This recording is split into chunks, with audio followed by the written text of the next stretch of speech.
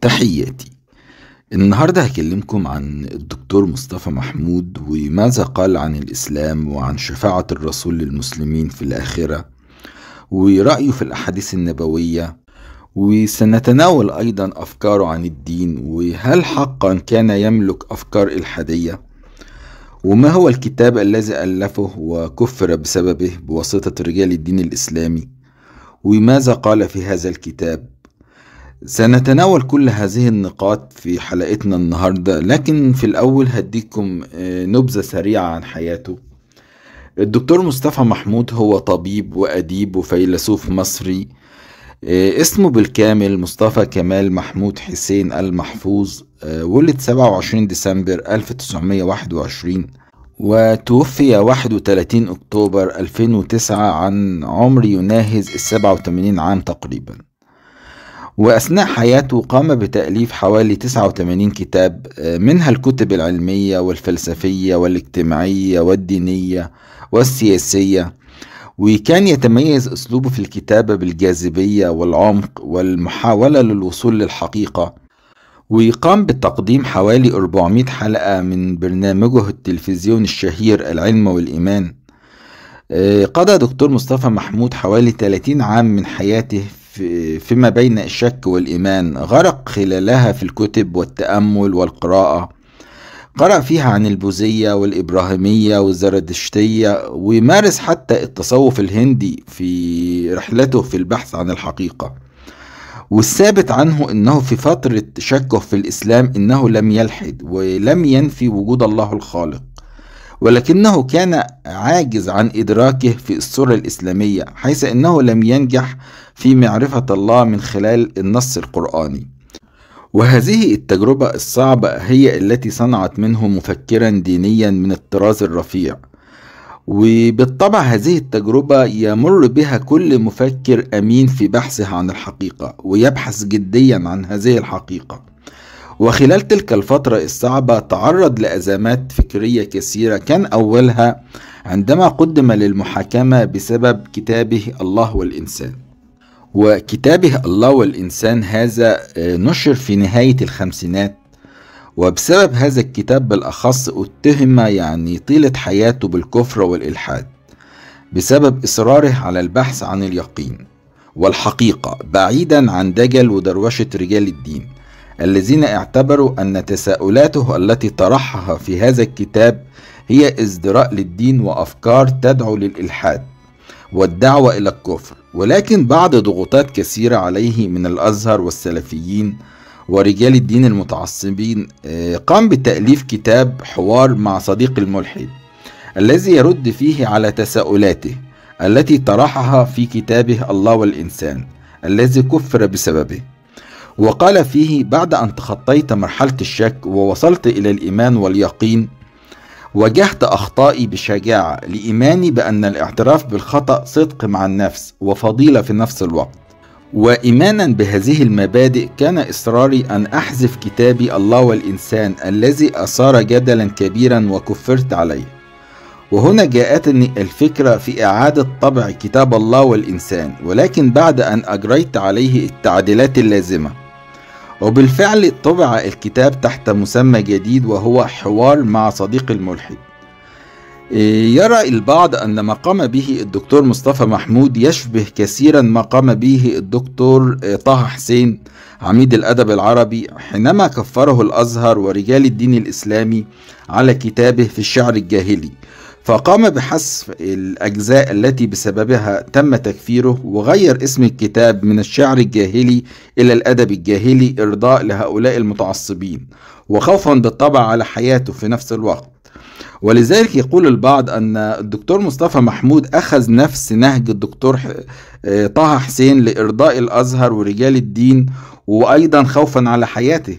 خاصة أنه في فترة كتابته لكتابه الله والإنسان طلب جمال عبد الناصر بنفسه تقديمه للمحاكمة وده كان بناء على طلب من الأزهر.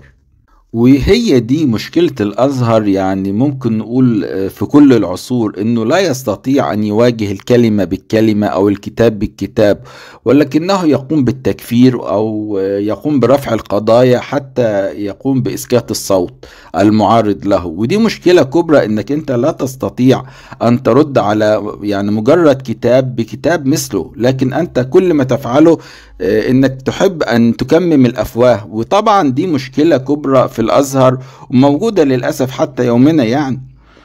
المهم آه، طلب جمال عبد الناصر بنفسه تقديمه للمحاكمة بناء على طلب الأزهر باعتبارها قضية يعني قضية كفر وإلحاد إلا إن المحاكمة اكتفت بمصادرة الكتاب. وبعد ذلك بفترة أبلغه الرئيس السادات أنه معجب جدا بهذا الكتاب وقرر طبعه له مرة أخرى. ولقد حزن آه، الدكتور مصطفى محمود حزنا شديدا على مقتل صديقه الشخصي آه، السادات بهذه الصورة البشعة الغير أدمية. فكتب كيف للمسلمين أن يقتلوا رجلا مسلما رد مظالم كثيرة وأتى بالنصر وساعد الجماعات الإسلامية وهو من أفرج عنهم. ومع ذلك قتلوه بأيديهم بل وكفروه. وقبل مقتل السادات كان قد عرض عليه إدارة وزارة كاملة فرفض دكتور مصطفى محمود قائلا أنا فشلت في إدارة أصغر مؤسسة وهي الأسرة فأنا مطلق فكيف بي أن أدير وزارة كاملة؟ أما الأزمة الثانية والأزمة الأشهر للدكتور مصطفى محمود هي كانت بخصوص كتابه الشفاعة. أي شفاعة الرسول في إخراج العصاة والخطاة؟ من المسلمين آه، من النار وإدخالهم الجنة. حيث أن دكتور مصطفى محمود كان يرى أن هذا الكلام غير منطقي وضد مفهوم العدل الإلهي وإن الشفاعة الحقيقية غير التي يروج لها علماء الحديث وأن الشفاعة بمفهومها المعروف أشبه بنوع من الواسطة والاتكالية على شفاعة النبي محمد وتحث على عدم العمل أو حتى الاجتهاد بل هي تغيير الحكم الله في هؤلاء المذنبين. لأن الله عز وجل هو الأدرى بعبيده والأعلم بما يستحقونه. وأكد أن كلام رجال الدين على أن الرسول قادر على إخراج المذنبين والعصاة من النار للجنة فيه تعدي على أحكام الله عز وجل وضد مفهوم العدل الإلهي.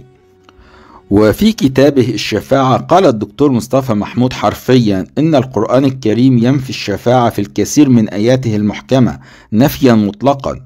وفي آيات أخرى يذكرها مقيدة ومشروطة بينما هذه الأحاديث التي تروى على لسان النبي وأنه سيقف شفيعا يوم القيامة للمسلمين المذنبين من أمته وأنه سيخرجهم من النار ويدخلهم الجنة بعد أن حكم الله عليهم بدخول النار فهذا كلام غير مقبول بالمرة وضد مبدأ أو مفهوم العدل الإلهي الذي يعطي كل واحد حقه. طبعا يعني أنا أعتقد إن كلام الدكتور مصطفى محمود يعني كلام فيه الكثير من الحكمة والواقع. كيف بعد أن يحكم الله على إنسان بدخول النار يقوم أي إنسان حتى لو نبي بالشفاعة له حتى يخرجه من النار ليدخله في الجنة؟ طب وأين العدل الإلهي؟ يعني للأمانة من يدقق في هذا الكلام يجده كلام عقلاني فعلا يعني. وشكك أيضا الدكتور مصطفى محمود في الأحاديث النبوية وشكك في صحيح البخاري وصحيح مسلم وفي إحدى لقاءاته التلفزيونية في أواخر حياته تحدث عن الأحاديث الساذجة التي لا يقبلها العقل ولا المنطق. وذكر على سبيل المثال حديث يوجد في صحيح البخاري وصحيح مسلم يذكر أن ملك الموت أرسل إلى موسى ليقبض روحه. فقام سيدنا موسى بفقع عين ملك الموت ورفض الموت. فاسترسل الدكتور مصطفى محمود بخصوص هذا الحديث الذي لا يقبله أي إنسان عاقل ولكن يقبله للأسف شيوخ الأزهر والسلفيين بالرغم إنه واضح جدا إنه حديث غير قابل للتص... يعني غير قابل للتصديق ومن يصدقه فهو إنسان ساذج. خاصة إن ملك الموت هذا روح فكيف يتم فقع عين يعني فقع عينه وهو روح بدون جسد مادي. يعني طبعا أنا أجد يعني في معظم اللي قاله الدكتور مصطفى محمود إنه كان يستخدم العقل والمنطق وأنا يعني أنا متفق كثيرا في كل ما طرحه حتى الآن. وبالطبع بسبب آرائه هذه هوجم الرجل هجوم شديد من رجال الدين آه، فكفروه ونعتوه بأصعب الأوصاف وطلبوه أن يصمت وأن لا يتحدث في الدين. بل حولوه إلى مارق وزنديق خارج عن القطيع وأدت هذه المحنة الشديدة به إلى اعتزاله الناس والكتابة إلا إن يعني إلا القليل القليل منهم ومن كثرة الضغط عليه والتهديد بالقتل طبعا كانت حياته مهددة. وكان مهدد بالسجن أيضا. أصيب بجلطة في عام 2003 وأصبح يعيش منعزلا وحيدا. بالرغم أنه لم يفعل شيء مجرد كان عنده أفكار بيطرحها. فأنا لا أجد ماذا يعني شيء آه، سيء قام به الدكتور مصطفى محمود. كل ما فعله هو آراء آه، وأجدها آراء يعني عقلانية ومنطقية جدا. فلماذا كل هذا التكفير؟ آه، قال عنه الشاعر الراحل آه، كامل الشناوي إذا كان آه، مصطفى محمود قد ألحد فهو يلحد على سجادة الصلاة. فهو كان يتصور أن العلم يمكن أن يجيب على كل شيء. ولكن عندما خاب ظنه مع العلم أخذ يبحث في الأديان بدءا بالديانات السماوية وانتهاء بالأديان الأرضية. وتوفي دكتور مصطفى محمود رحمة الله عليه صباح السبت 31 أكتوبر عن عمر يناهز ال 87 عام ولقد شيعت جنازته من مسجده بحي المهندسين ولم يحضر الجنازة أي من المشاهير أو المسؤولين ولم تتحدث عن جنازاته وسائل الإعلام يعني إلا القليل القليل منها مما أدى بالطبع إلى إحباط شديد عند أسرته. وبالطبع كل هذا التهميش بسبب تشويه رجال الدين وتكفيرهم له بالرغم إنه لم يكفر أحد ولم يكفر أو يترك الدين حتى بل لمجرد إنه خالف فكرهم في بعض الآراء الدينية والفقهية على أساس إنه طبيب غير متخصص ليتكلم في الدين. يعني أنا مش فاهم يعني إيه هو طبيب وغير متخصص. أي إنسان من حقه يتكلم في الدين أي إنسان طالما تملك عقل راجح من حقك تتكلم. ولقد ترك لنا الدكتور مصطفى محمود مجموعة من أجمل أقواله يعني التي خلدها له التاريخ. آه، مثل أن الشرف عندنا معناه صيانة الأعضاء التناسلية. فإذا ارتكبت كل الذنوب والمعاصي في الدنيا وصنت أعضائك التناسلية فأنت شريف مئة في المئة.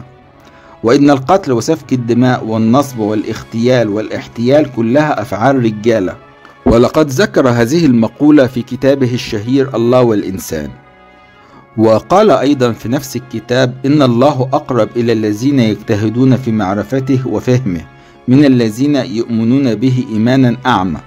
بالطبع هنا آه، دكتور يعني مصطفى محمود يحاول أن يوصل للإنسان البسيط إن ربنا عايزك تؤمن بيه عن معرفة وليس عن إيمان أعمى.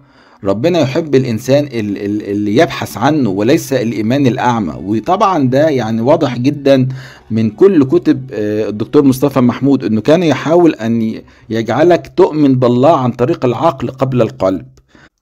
ومن أقواله المأثورة أيضا لو كانت الأشياء المادية أهم من المعنوية لما دفن الجسد في الأرض وصعدت الروح إلى السماء.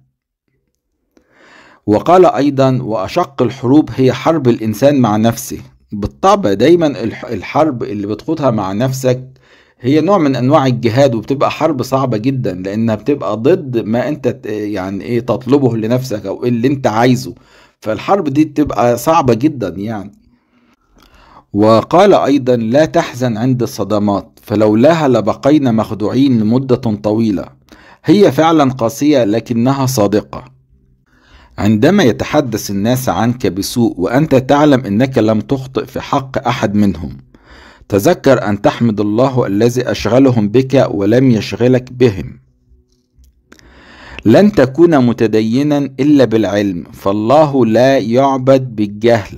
طبعا كلمة قوية جدا لازم تكون مثقف عشان تعرف تعبد الله. مش أي حد يقول لك كلمة تصدقه. طبعا الدكتور مصطفى محمود كان واعي جدا لكل كلمة يقولها يعني. في الأرض ما يكفي لحاجات الناس ولكن ليس فيها ما يكفي لأطماعهم. عايز أقول إن الإنسان طماع لكن ربنا اللي, اللي بيديهولنا ربنا كافي لحياتنا. لكن الإنسان يريد أكثر فأكثر فأكثر وطبعا ده نوع من أنواع الطمع. لم أتمنى البكاء يوما ولكن هم الزمان أبكاني. تمنيت أن أعيش كما تريد نفسي ولكن نفسي عاشت كما يريد زماني. طبعا كلمات عميقة جدا وجميلة فعلا. وقال أيضا إن مشكلتك ليس سنواتك التي ضاعت ولكن سنواتك القادمة التي ستضيع حتما إذا واجهت الدنيا بنفس العقلية. وهنا يعني نلاحظ أن الدكتور مصطفى محمود يحثك على أنه يجب عليك تغيير أفكارك عندما يجد ما هو جديد. لكن أنك تصر على أفكار أنت تربيت عليها وتوارثتها آه، كأنك لم ترى ما هو جديد فهذا نوع من أنواع الغباء يعني. طبعا كلمات جميلة جدا. هو كان طبعا آه، الدكتور مصطفى آه، محمود كان متمكن من أدواته متمكن من علمه. خسارة كبيرة جدا إنه تم تكفيره و... وكانت نهايته تعيسة طبعا زي ما أنا شرحت لكم الآن.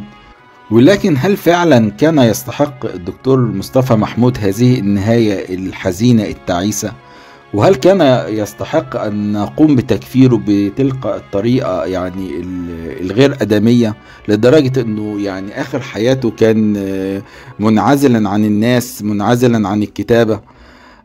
أحب طبعا يعني أسمع آرائكم في تلك النقطة وأحب أسمع آرائكم برضو في شخصيته وأفكاره. لن أطيل عليكم أكثر من ذلك وهي دي كانت حلقتنا النهاردة. أتمنى بالطبع أنها تكون نالت إعجابكم وإلى اللقاء في معلومة تاريخية جديدة.